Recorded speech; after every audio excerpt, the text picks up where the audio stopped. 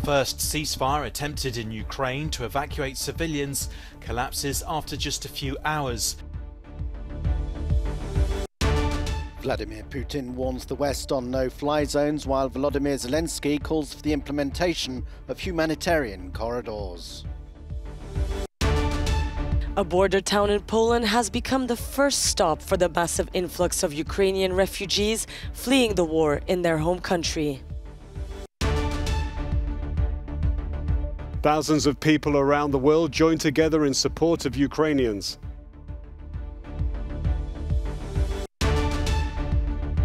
Italian police seize more than 140 million euros in Russian oligarch assets.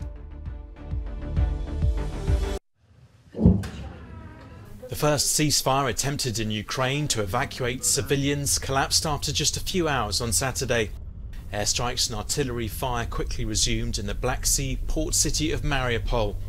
The ceasefire was also supposed to cover the eastern city of Volnovakha, but it failed there too. At 11.45, the Russian Federation started shelling Volnovakha with heavy weapons. As you know, from 9am on the 5th of March, we had a preliminary agreement that we would create two humanitarian corridors in Volnovakha and Mariupol. I want to confirm the fact that Russia has violated agreements reached with the mediation of the Red Cross, did not fulfill the agreement, and is shelling Volnovakha.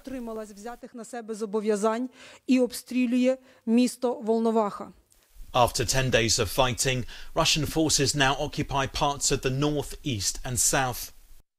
Meanwhile, on the outskirts of Kiev, soldiers have been helping civilians cross a road bridge as they try to escape the city of Irpin, which has been shelled by the Russians. The military deliberately blew up the bridge to slow down Russian troops advancing on the capital.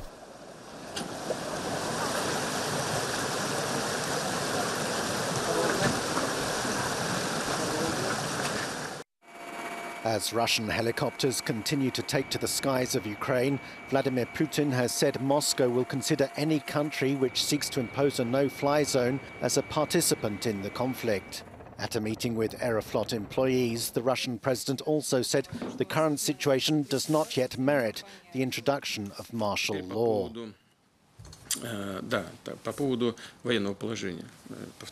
Martial law can be declared in the event of aggression from outside I hope that it will not happen, despite irresponsible statements by some officials. We hear about the need to close the airspace over the territory of Ukraine. It cannot be done. It is impossible to do from within Ukraine itself. It is possible to do it from a neighboring state, but any movement in this direction will be considered by us as participation in the armed conflict. In his daily address to the nation, Ukrainian President Volodymyr Zelensky urged his fellow countrymen to stay and continue their fight, while saying he'd endeavour to make humanitarian corridors a reality to save the lives of the elderly, women and children. We are doing everything on our part to make the agreement work. This is one of the main tasks for today. Let's see if we can go further in the negotiation process. On a visit to Poland, US Secretary of State Antony Blinken said Washington is to allocate another 2.5 billion euros on humanitarian aid. Ukrainian refugees arrive in Poland with light bags but a heavy burden. Stepping down on Polish soil means safety but also sadness for entire worlds left behind. At one of the main arrival hubs along the border in Przemyśl, Buses line up to bring passengers to destination. Mainly women and children get off. Men stay to fight. I want to go home. I want to go back to Kiev, to my apartment. I don't want to go anywhere. Look at what Putin is doing to us. It could happen to anyone. Anyone.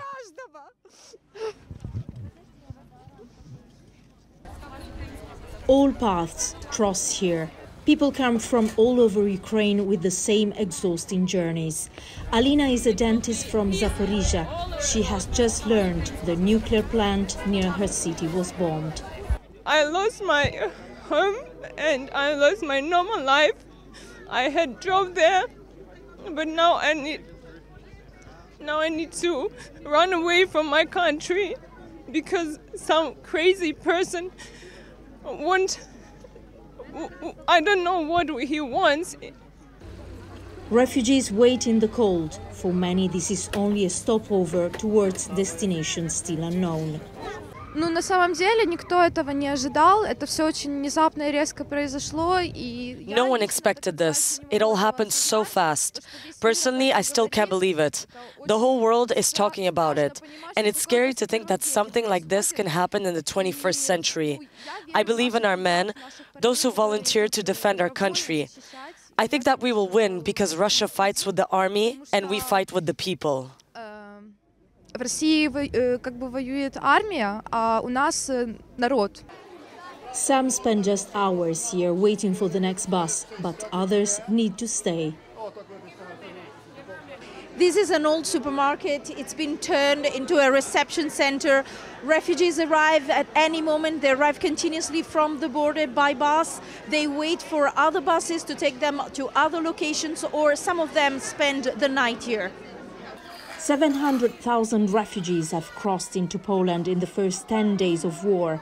Polish authorities are trying to adapt fast to face the Ukrainian exodus. This reception center was opened within days. The UNHCR says an escalation of the conflict could drive the number of refugees up to 4 million.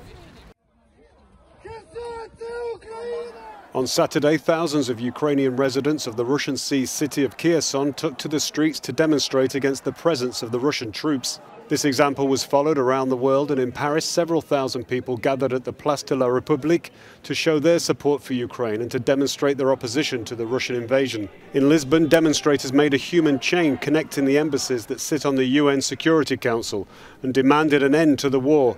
Some 29,000 Ukrainians reside in Portugal, making it one of the largest foreign communities in the country.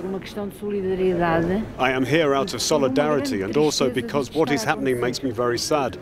I also went through this kind of situation when I had to leave Angola. So I understand very well the situation of these Ukrainian women and children. This is why I'm here. Protesters in London's Trafalgar Square demanded support for Ukraine. Speakers addressed the crowd and led the demonstrators in the chant Stand with Ukraine and Air Defence for Ukraine.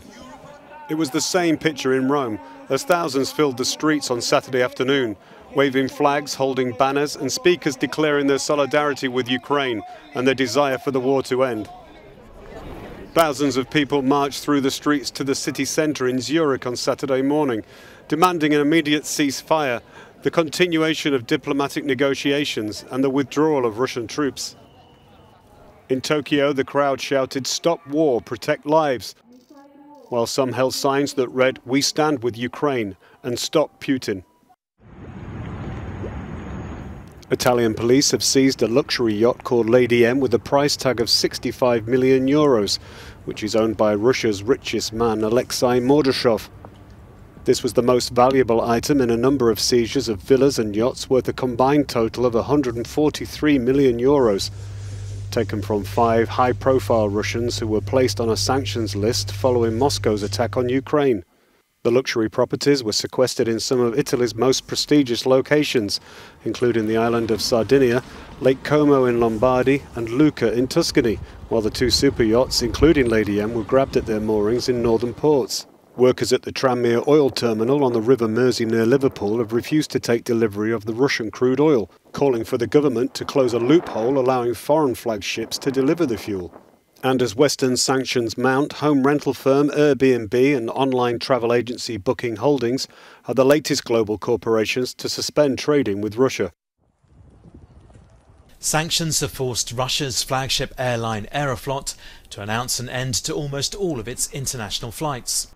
From Tuesday, it'll only fly to neighbouring Belarus, one of Russia's few European allies.